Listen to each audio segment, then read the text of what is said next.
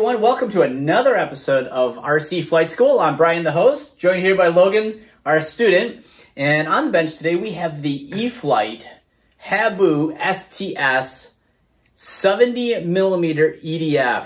Um, this is the trainer that Logan here is going to be learning how to fly with. So we're just going to cover a few of the uh, the kind of the important aspects of this Habu.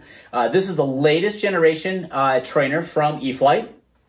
Uh, it includes SAFE, which is going to be very important for our new student pilot. Pilot, if you remember from our previous episodes, we've already learned about SAFE and how it has uh, three modes in which uh, we have beginner, intermediate, and and experienced. We'll be obviously learning on on beginner mode.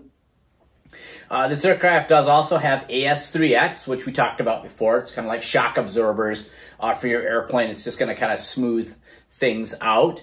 Uh, it also has um, an optional landing assist sensor, which we do not have yet. Uh, it's it's on its way. It's not here yet today, but that's all right because we're not going to fly it today anyway. And the landing assist sensor, which we will be simulating in Real Flight 9.5, actually helps the aircraft flare on landing. When we talk about flaring, I mean as the airplane comes in, it's going to pitch the nose up just a little bit. So we touch down on those main landing gear first and let the nose drop. It's going to have a sensor located on the bottom of the fuselage that's going to aid us in, in doing that. Now, I know a lot of you probably are looking at this airplane saying, uh, you guys can't be serious.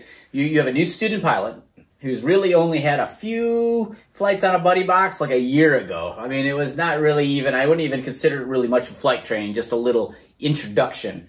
Uh, you're going to take someone like this and you are going to have them fly an EDF jet. Um, yeah, that's exactly what we're going to do. Uh, he is going to learn.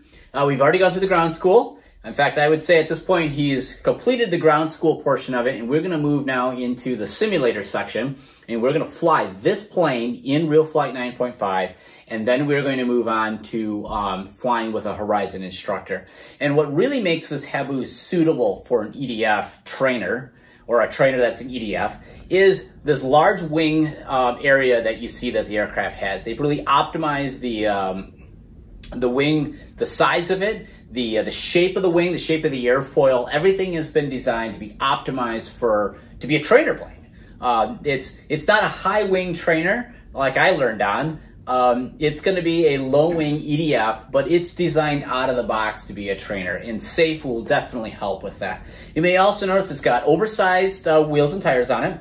Uh, so it's going to be fantastic to be operating off grass, which we'll be flying off of at the uh, the Grand Haven uh, RC Flying Club. It's also got a spring-loaded uh, nose gear, which is great because you know what? Not every landing is is perfect, and it's not a perfectly smooth surface. So that's another one of those things that's been added on here to really kind of help give the airplane a little bit more. Um, it's gonna be a little bit more robust, and you can fly it off grass, you can fly it off paved surfaces, you can fly it off a, a variety of things. The nose cone on here is uh, is like a rubbery compound, so that if he does bump anything, um, it's not it's not going to shatter. Um, the other thing is um, it's got this really nice, beautiful canopy that has a uh, catch release on it that um, pops off here. And inside here, um, it's going to house a, um, a 3S battery. This is going to fly in a 4,000 milliamp per hour 3S.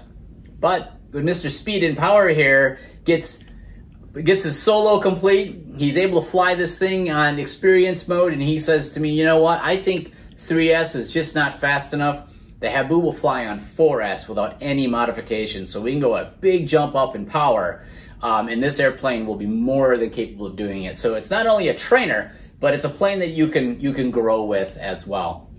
We've got three modes of safe, beginner, intermediate, and experienced, 3S and 4S. It really is a very versatile uh, airplane that uh, Logan's going to be able to learn with, and it's really a fantastic plane for anyone to learn with, or even for a club to uh, to have uh, at their disposal if they want to teach a new pilot.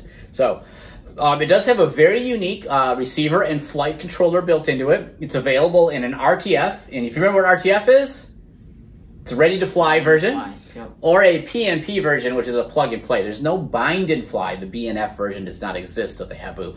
The unique flight controller inside here is specifically developed for the Habu to be used as a trainer. So that Logan here, who has you know basically no flight experience, is going to be able to fly with an instructor and master this particular aircraft. It is a uh, four-channel aircraft, so it's got aileron, it's got elevator, it's got rudder, and of course, um, it's got the, the throttle, and this is usually 70 millimeter electric ducted fan, so no, obviously no propeller up front, and that unit is, is housed in the, uh, the back here.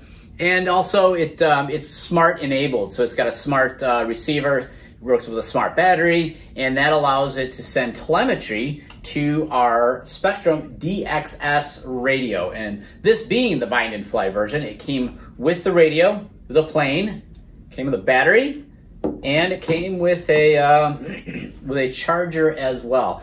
And as an extra bonus, which I thought is fantastic here, it includes the USB dongle um, and a code that Logan can download um, Real Flight 9.5. It's a kind of like a almost like a student edition of it, and he can download that from Steam, and he can practice on his own using the the Habu in the uh, the flight simulator. And really, that's going to be an important thing to practice on before we move to the uh, the field. So.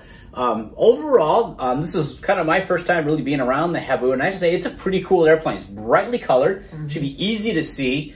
It is more exotic looking than your uh, your traditional uh, trainer. I learned on a um, on a, a, three channel Sport Cub, and uh, boy, this thing looks so much more high tech and cool than uh, the uh, three channel three channel uh, um, Cub, which is actually the same plane that he flew in the buddy box on. And what would you rather fly? Would you rather fly that that Cub you flew last year, or would you rather fly this? I'd rather definitely this. Cause, definitely this? Yeah, many reasons. First of all, it looks cooler, and it's a jet. It's a jet. That's it. I think a lot of people uh, tend to get kind of turned off by a, a, a high wing trainer looking airplane. And I think for younger people like Logan here, um, there's something that's just awesome about about a jet. Mm-hmm. Uh, well, even for people like me too. The jet's cool. And that cool factor um, is able to be transferred into a trainer so he's going to go right from no flying really at all to an EDF jet, and this is going to be fantastic to uh, to watch him progress in this. So if you're interested in, in learning how to fly, which if you're watching this series, hopefully that's exactly why you're you're watching it. We've covered the ground school, and you're looking to buy what plane do you want to get into. Um, as of now, this definitely looks like the right plane to use. And I know there's a lot of skeptics out there. I know there's a lot of guys who've been in this hobby a long time who say there's no way that Logan here can fly this plane. It's not a beginner plane. You can't fly an EDF as a beginner plane. Well, we're going to prove them. We're going to totally prove them wrong. At least I hope so. No, no, I'm I am uh, very confident in, in, Logan's ability. I'm confident in the aircraft. I'm confident that he can learn through real flight and through a Horizon instructor that he will be able to fly this aircraft on his own um, with proper instruction. So it's uh, it's definitely a, a, huge paradigm shift where before EDF was not something you'd ever want to start a new beginner out on. But we're going to prove that indeed Logan can do it, and we're going to do it here with this Habu STS ready to fly. So if you guys got any questions, uh, by all means, leave them in the uh, the comments below. Uh, we're more than happy to uh, to answer any questions. Um, I will get some flight time on this as well before uh, we turn the uh, the keys over here to, to Logan to fly it. So I will also be reporting back on, on how well it um, it flies and kind of my thoughts on it. The Horizon instructor will also fly the aircraft to become familiar with it and, and share his thoughts. Um, and once again, thanks again to our friends at Horizon Hobby for helping making this series uh, come to life. Uh, they were able to uh, to help us out in a number of ways here, and uh, we're, we're very thankful uh, for their ability because with their help, we're going to turn someone into a uh, new RC pilot and get him started on his journey in in the hobby. So um, that's really about it. We'll talk to you guys later.